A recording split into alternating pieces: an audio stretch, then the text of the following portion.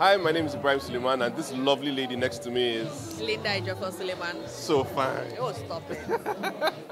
Um, so we're here at the premiere of um, Saving Onome, and um, I'm excited because you know obviously Inkblot are, are our people. Um, they are, you know, Zulu, Naz, and um, Damola. Damola are our friends, and they're also our employers. So yeah, um, we're just out here to support them and then really enjoy this really nice evening um, and see this great film.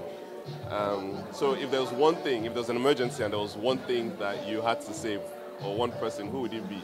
Babe, Choose wisely. Choose wisely. Babe, you already know. So you pick your son over me. What? Well, how would I do I will that? pick him over you. Just so you know, I will pick him over you. All right, guys. Sure. So, baby, what, what, what's keeping you up? Because the things that keep us up when it comes to film are different. Yeah. Um, K drama keeps me up. And I currently started watching Dexter all over again. Okay, so that will that will share in common. We both enjoyed watching Dexter, and we're, you know, we're starting it all over again. Um, I'm currently seeing The Gentlemen.